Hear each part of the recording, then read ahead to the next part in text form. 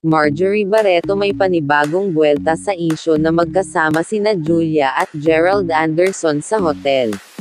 Ito na nga mga ka-TV, mga ka-showbiz, mga kababayan at mga taga-subaybay. Ito na nga mainit-init pa. Muli na naman umugang ang usap-usapan tungkol sa umano'y pag-check-in daw ni Julia at Gerald sa hotel. Yan na nga ang mainit na usap-usapan ngayon.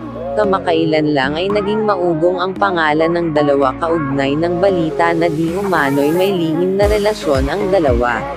Dito nga ay dinepensahan ni Marjorie ang anak at sinabi na magkaibigan lang daw ang dalawa.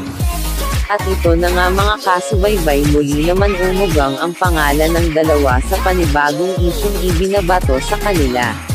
Ito nga ay ang pagpunta daw nila sa isang hotel na magkasama.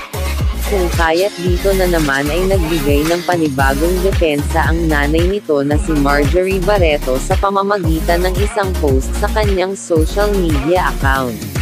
Narito ang kanyang post mga kasubaybay.